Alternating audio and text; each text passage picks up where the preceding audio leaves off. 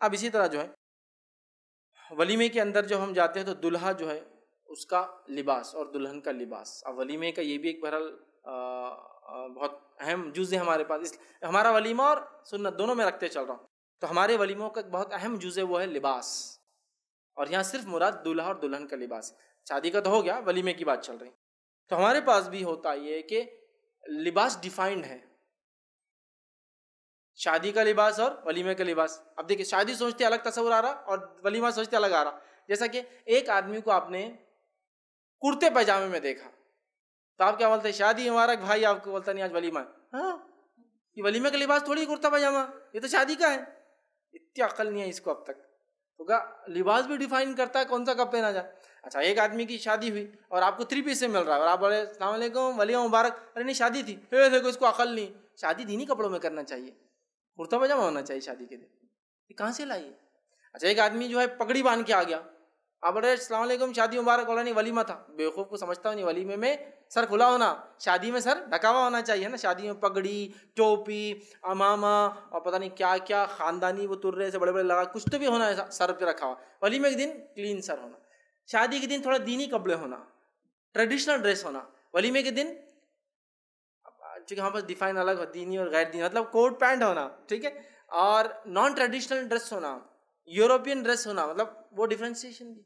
तो लिहाजा अब शादी के दिन एक कपड़ा हो गया वलीमे के दिन एक कपड़ा, इसके बारे में फिक्रें, सोच, ख्याल और बहुत सारी बार जो वलीमे के दिन कपड़े मर्द पहनते हैं, वो भी उधार का होता है, या कभी किसी का दियावा होता है, या सुबह अल्लाह कभी तो किसी का मांग के लिया हुआ होता है उसको सर देता बेचारा वलीमे का जोड़ा और क्या कह देता है पलंग बिस्तर तो वलीमे का जोड़ा भी आता है उसके अंदर, है ना? कपड़े होना वलीमे के तो वो बेचारा बोलता, चलिए आप दामाद जी आप वलीमे के लिए कपड़े ले लीजिए, फिर ससुर के साथ जाता और जाकर रेमंड पैसे इक्यावन हज़ार का जोड़ा लेता। कितने का लेता? इक्यावन हज़ार का। भाई, जब तुम्हारी औकात नहीं आम ज़िंदगी में इक्यावन हज़ार पहनने की तो ससुर के पैसों पे क्यों पहनते एक दिन इक्यावन हज़ार का? और वो भी ऐसा कपड़ा रहता है इक्यावन हज़ार का, जो उसके वलीमे के बाद वो कभी नहीं पहन सकता, मालूम आपको? बेल, बूटे, चिमकिया, पता नहीं, ऐसा कि कहीं दूसरे का पहनेंगे तो लोग बोलते, जोकर आ गया। हाँ? आप वलीमे का ड्रेस देखिए, इतना अजीबो गरीब कुछ भी कुछ भी गड़ा बना के पिना देते हैं कि जो वलीमे के अलावा ज़िंदगी में कभी नहीं पहन सकते आप। कभी पहनेंगे तो लोग हंसेंगे, बोलेंगे, जोकर आ गया। हाँ मैंने देखा, शेरवानी, ठीक है। ऐसी शेरवानी, फुन्ने, ये तागे, लटके हुए तुवाल तुवाल नहीं सॉरी ओढ़नी और फला फला फला। अब अब ये वलीमा हो गया। अब वलीमे क्या ला, ये कहीं भी गया तो सब हँसते मजलिस वाले। क्या पहन गया बॉले ने? और कितने पैसे डाला उसमें? इक्यावन हज़ार। ये इसराफ नहीं है तो क्या बताऊँ? इक्यावन हज़ार का आपने जोड़ा, लिया भी आपके इस्तात के मुताबिक आपके अपने पैसों से, या आपके आप बहने दिलाया उनके पैसों से। एक ऐसा कपड़ा है जिसको धोना नहीं पड़ता, एक ऐसा कपड़ा जो ज़िंदगी भर नहीं, ऐसा कपड़ा जो बच्चों के बाद पोते भी पहनेंगे।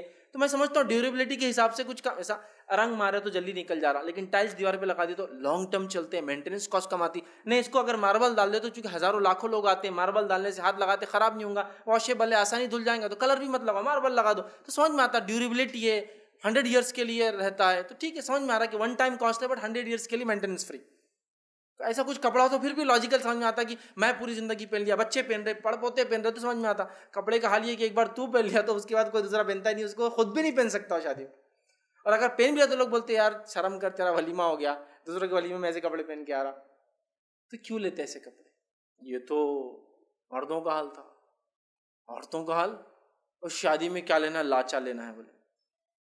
अब वो लाचे को उठाने को और दो लड़कियाँ साथ रहती सटा के तो ये खुद नहीं चल सकती, उसका लाचा उसके बाद इतना बड़ा उसको लेके चल रहा क्यों? कितने का है? नहीं, वो ज़्यादा तो नहीं ले सके इस्तात नहीं थी। नहीं, फिर भी कितने का है? नहीं, बस सब क्या बोलना आपको, बस इस्तात नहीं थी, बस जो था अल्लाह ने दिया, जब मैनेज कर लिया मैं कितने का है? नहीं, बस अब कर, अरे कितने का है? पूछ रहे नहीं, बस वो एक लाख के ले पाए, चूँकि बहुत मुश्किल थी। अब्बा के हालात टाइट चल रहे थे, ये था, वो था, उधार लेके लिया हुआ है। एक लाख रुपया। अब इसके बाद कब काम आएगा एक लाख रुपया? इसके बाद कब काम आएगा? फिर वो जोड़े को रखेंगे। फिर जब भी झगड़ा होगा शोर से तो जोड़े को देखेंगे और पीछे म्यूज़िक बजते रहेंगे जहन के अंदर। मैंने ये पहनी थी मेरी शादी में, एक लाख अब्बा ने लगाए थे जोड़े। आ हा अब आप सीन देखिए कैसा क्रिएट हो रहा क्या करते हैं, क्या कर रहे हैं, कुछ समझ में नहीं आ रहा। ये ज़िंदगी भर एक अच्छे फोल्ड करके, मखमल के कपड़े में लपेट के रखा रहेगा। फिर इन्हों ज़िंदगी भर देखेंगे। हाँ? फिर इनके बच्चों को बोलते रहेंगे या हम मैंने शादी में पहनी थी और उसके बाद मर जाएँगे तो वो कपड़ा अब तक दिमाग खा जाएँगे, ख़राब हो जाएँगे, उसको फेंक दिया जाएगा। अल्लाह ताला के पास क्या एक लाख रुपए का हिसाब नहीं है? ठीक है, आपने हलाल कमाया था, लेकिन आपने जो लगाया जहाँ, वो हलाल जगह नहीं थी। इसराफ था, तबजीर थी अननेसेसरी आपने लिया। एक लाख रुपया, जिस समाज में लोग भूखे हैं, लंगड़े, माजूर, अंधे दीवाने जिनको दवाओं की इलाज की ज़रूरत है आप एक लाख रुपए सिर्फ़ एक दिन के चार घंटों के बैठने के और खड़े रहने के लिए लेते हैं। और इक्यावन हज़ार का जोड़ा आप पहनते हैं जो आपकी ताकत मैं इसलिए कह रहा हूँ औकात की बहुत सारे नौजवान उधार रहता है या अपने सुसर से लेते हूँ। इसलिए तुम्हारी औकात नहीं जिस कपड़े पहनने की मत पहनो वो कपड़े। इनके वली में हुए कैसे हुए? जो आम कपड़ा था बस वही था। सिर्फ़ अब्दुलरहमान इब्न औफ ने एक, एक खुशबू लगाई थी तो उसके स्पॉट ने बता दिया क्यों वरना कपड़े तो डिफाइन नहीं कर सके। हमारे पास तो अगर दूल्हे भी यहाँ दो चार दिन भी आए तो आप कपड़ों से पहचान लेते। शादी हुई क्या इसकी? कपड़ों से पता चल रहा उसकी। चूड़ीदार, खास पजामा हाँ? कुर्ता एकदम वाइट ऐसा वाइट के, ऐसा वाइट दिखता नहीं कहीं। और उसमें जो बटन जो एक्स्ट्रा ऐसे सादे बटन नहीं होता। हाँ इसकी शादी हुई कल। या वली मोह, ये बस रिसेंटली हुई है। कितने दिन हो गए आपकी शादी हो गई बोलता क्या पहचाने बस दो दिन हुए हाँ वो कपड़ों से लग रहा आपके। समझ रहा समझ रहे आप बात? तो ये सब नहीं याद रखी, ये सब नहीं। वो लोग आम हालत में थे। ऐसा कभी किसी सहाबा या ताबन क्या आप नहीं पढ़ेंगे, शादी थे तो कपड़े बनाया। नहीं, ये ओकेजन्स नहीं थे उनके लिए। कभी भी बनाते थे वो लोग। ठीक है? ओकेजन्स नहीं थे। हालात हो गए तो बना लिया, ज़रूरत पड़ गई तो बना लिया, बस। इसके अलावा ओकेजन्स नहीं थे। कितने ओकेजन्स कितना खर्च? ये खर्च के लिए कहाँ कहाँ से आप पैसे ला रहे? कैसे कर रहे थे बहरहाल?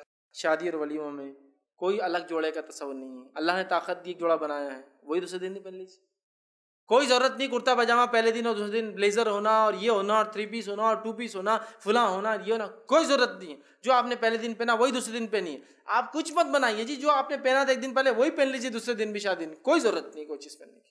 नहीं नहीं बोले, दूल्हा अलग कैसे दिखेंगे बोले? तो कपड़े अलग होना, उसको हार डाल देते। अल्लाह, दूल्हा नहीं है तो बली का बकरा है जो अलग दिखना चाहिए पूरे लोगों में। आप पूरे बकरे चल रहे एक बकरे को जुबा करना है तो उसको अलग दिखाते हार पहना के। वैसा कर रहे आप? नहीं नहीं, दूल्हे का नहीं है। अलामत ठीक है? तो बहरहाल अजीब व गरीब चीज़ें हैं, उसके पीछे कमेंट्स हैं, उसके पीछे लॉजिक्स है, उसके पीछे पता नहीं क्या क्या सारी चीज़ें हैं। तो बहरहाल इस चीज़ को समझिए, सादगी इख्तियार कीजिए सिंपलिसिटी रखिए। आम आप जो रोज़ ड्रेस पहनते हैं, वही ड्रेस में आप निकाह भी कर सकते अल्लाह ने दिया है, अलग भी सिला सकते कोई हर्ज नहीं बट उसकी लिमिट हो। उसका एक टाइप हो कि ऐसा बनाऊँ कि बाद में भी काम आए, एक बना रहा हूँ, लाखों रुपया खर्च कर रहा हूँ। एहतियात कीजिए, याद रखिए